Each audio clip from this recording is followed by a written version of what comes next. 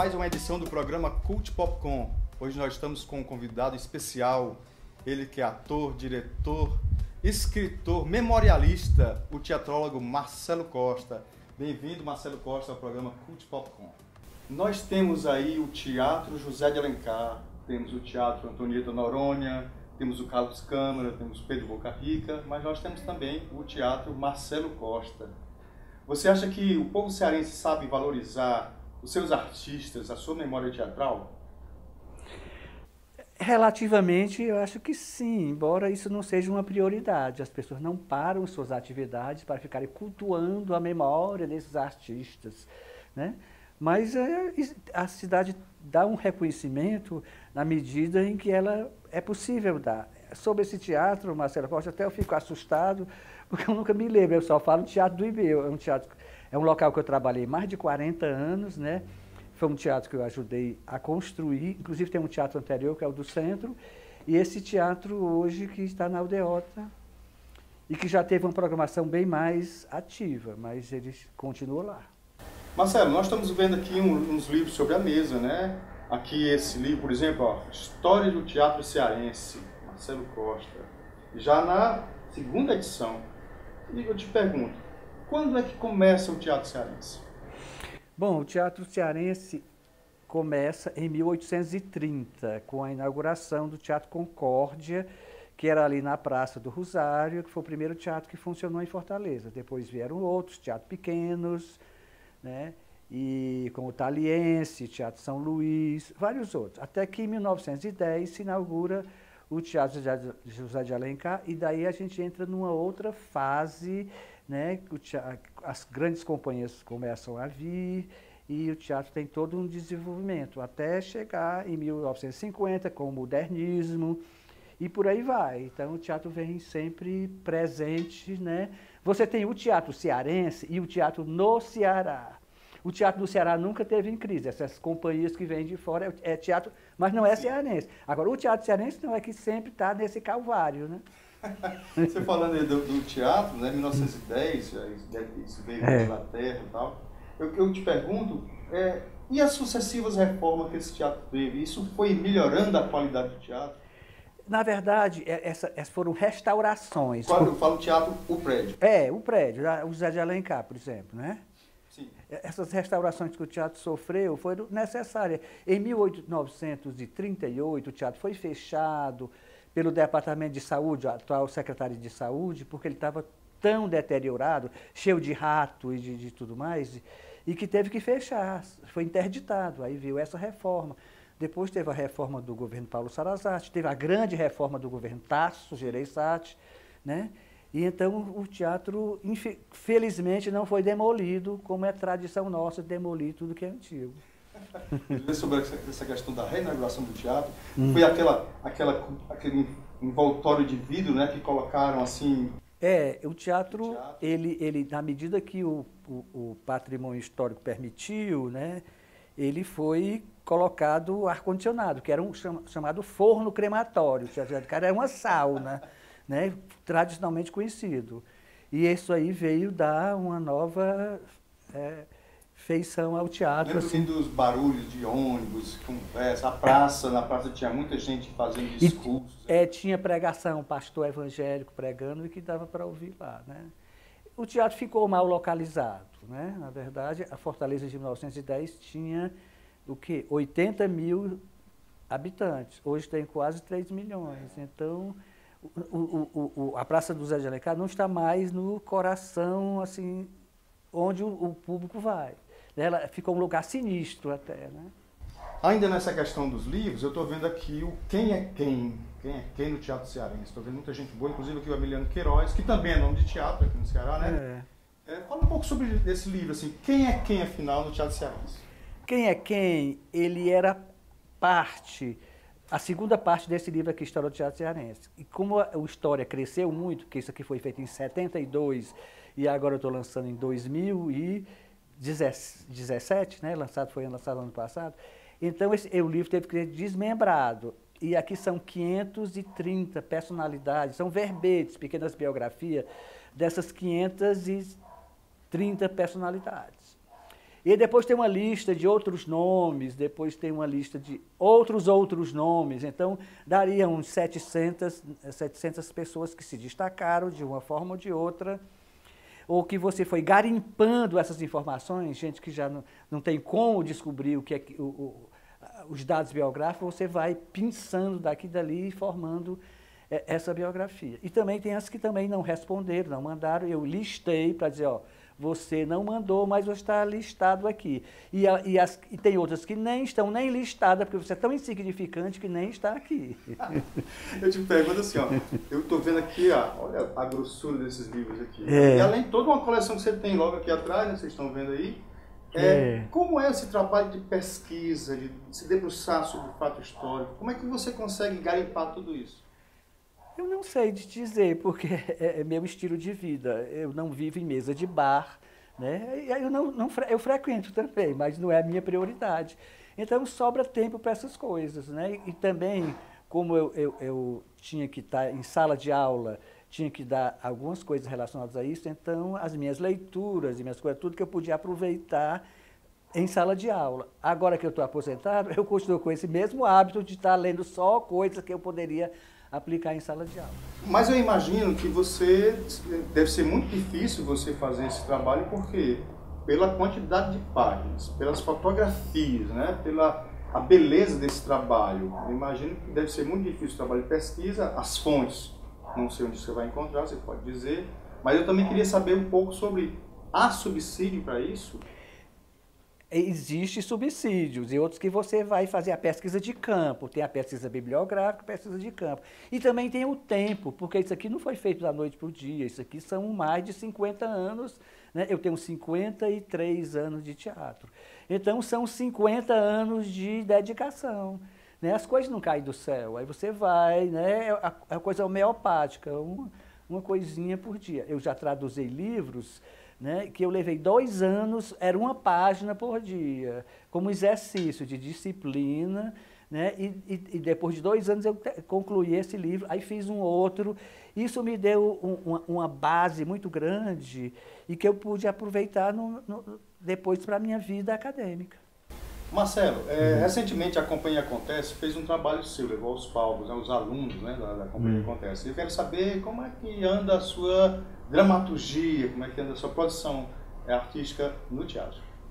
Olha, eu, eu, eu sou ator, diretor e autor. Essa parte de autor é a parte mais é, menos enfatizada da, dessa minha trajetória teatral. Então, ao todo, eu já fiz assim 99 peças. Eu quero chegar à centésima, mas está tá difícil. Né? Então, fiz peças como ator, né? que, e depois eu, peças que eu dirigi, que, que, inclusive aqui você trabalhou, que foi o Latin Lover, né? outras mais, mais famosas, conhecidas, e eu digo, por que, que é, as outras são esquecidas? Né? Todos são meus filhos. Né?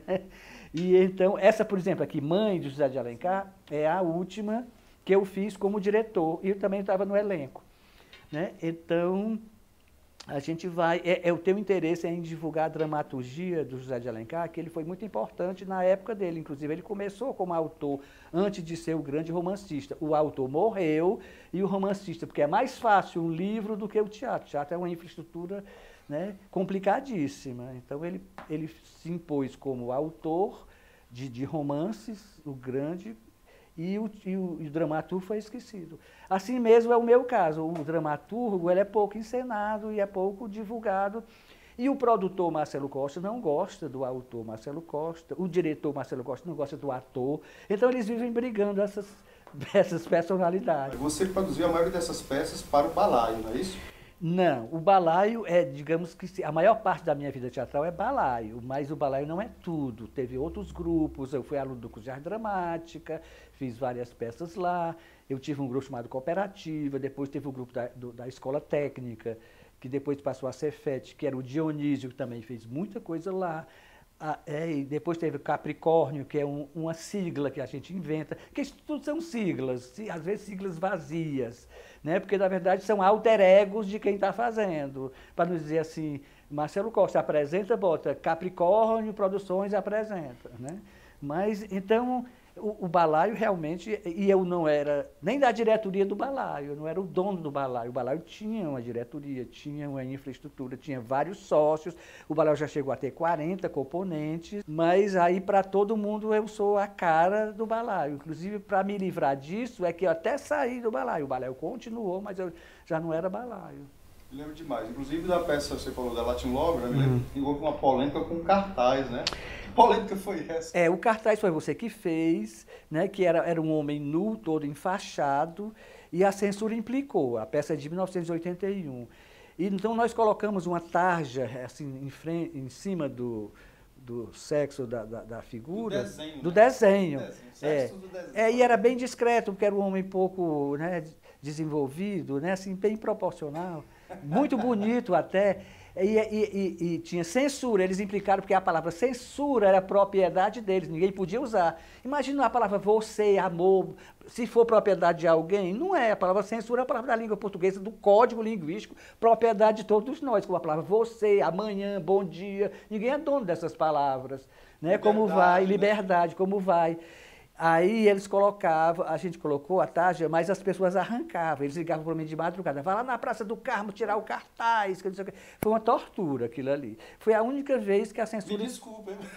Foi a única vez que... E depois ele foi a capa do livro, que teve, deu problema também na imprensa oficial, né? Então, aquele cartaz me deu vários problemas. Mas foi a única vez que a censura implicou comigo, além de uma peça infantil chamada A Bomba Atômica de Pernambuco de Oliveira, que eles proibiram até 14 anos. Uma peça infantil até 14 anos não vai funcionar.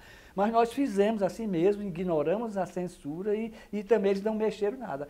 Eu não incomodava o sistema. Talvez o incomode bem mais hoje, né? Por causa da preguiça desse povo de querer ensaiar e tudo mais, dessa indisciplina, e que tem até o respaldo das coordenadoras, né? Olha aqui, ó, a gente, se olhando aqui, eu acho que é. somar as idades dá uns 120 anos. É, mas você é bem mais novo. Mas deixa né? eu te dizer, eu queria falar, quando eu pontuei o tempo, estava querendo hum. falar sobre a questão da censura.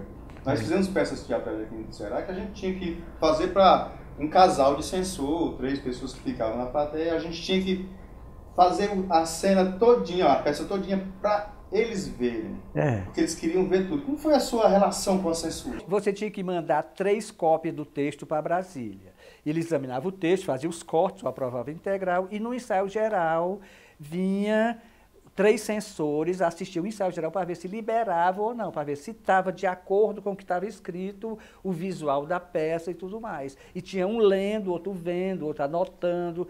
Então era terrível, porque você, como teve Noite Seca, que você trabalhou, do Geraldo, que eles proibiram no ensaio geral. Então, depois de você ensaiar quatro meses, seis meses, depois todo o investimento de produção, de figurino, de cenário, de cartaz, tudo, ele chegava e dizia, não pode. Né? Então era coisa muito. E esse ensaio geral para censura, você tinha uma dor de estômago muito grande, porque você ficava tenso. Né? Ele fazia muito mal à sua saúde. Esse ensaio, eles nunca proibiram nenhum espetáculo meu. Teve um espetáculo que eu fiz, Castro Alves Pé de Passagem, que teve uma atriz que teve problema, fazer um piquenique e, e, e, não, e faltou a apresentação, a gente substituímos e ela deu uma denúncia na censura que a gente estava mudando o texto. Aí veio depois o, nova apresentação para censura, novo processo, mas eles viram que, que não tinha nada. Mas também eu consegui a peça do Zaza, Zaza Sampaio, Alarme Geral, que estava proibida. Aí nós fizemos uma exposição de motivos, alegando que, que era uma presidiária é, provocando um, um guarda, né? Nós alegamos que aquilo era uma, era, era uma reação psicológica dela, não era coisa realista, era uma fantasia dela, então eles liberaram esse texto, certo? Então, é, ao mesmo tempo que eles proibiam, também argumentando, às vezes você conseguia contornar essa situação. Deixa eu aproveitar e fazer um registro aqui, porque você falou na peça Noite Seca, e a peça Noite Seca é do Geraldo Marcan, ela foi censurada aqui nos anos 80. E eu me lembro demais que o, Caetano Veloso estava fazendo um show aqui e falou desse evento lá no show dele. E foi uma palma e ao mesmo tempo uma vai, né? Porque palma para um grande artista defender a cultura cearense e ao mesmo tempo uma vai para os censores. Marcelo, a gente já sabe de onde veio o teatro cearense, já sabe quem é quem, tá? Agora vem a grande pergunta, assim, para onde vai o teatro cearense? Principalmente considerando, por exemplo, as novas mídias, a internet, Facebook, essas coisas que o pessoal faz ao vivo, né? é, shows, considerando também as novas casas de espetáculo, é o caso de shoppings, espetáculos que vêm só para os turistas, a questão do humor, que também é uma vibe especial, mas também, não esquecendo, da questão da violência, que faz com que as pessoas se afastem dos, dos locais públicos. Né? Onde vai o Teatro Cearense desse fogo cruzado? É, essa é uma pergunta bem difícil, né? Talvez até você tenha que ter uma bola de cristal.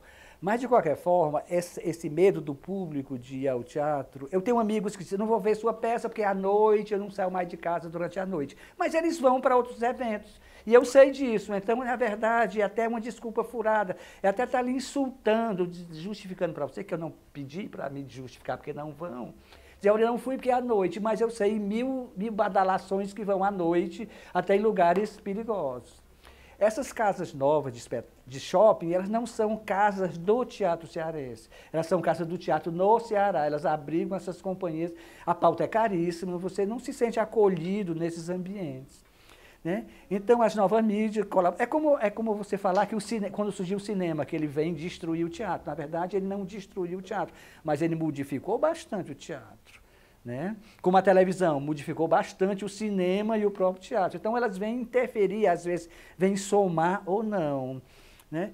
O que eu acho mais difícil hoje você fazer teatro é porque todo mundo só faz com edital, porque é difícil você ter um retorno de bilheteria, mas é, é mais é a, o, o, compromisso das pessoas em, em, em, em ensaiar, investir, assumir aquele projeto e, e, dedicar e não ter mil e uma coisa para fazer, porque todo mundo tem um compromisso e você nunca junta oito pessoas e é difícil. Então isso, isso realmente é, é, é, essa falta de compromisso. Eu acho que, que é a coisa mais séria atualmente, pelo menos no meu trabalho.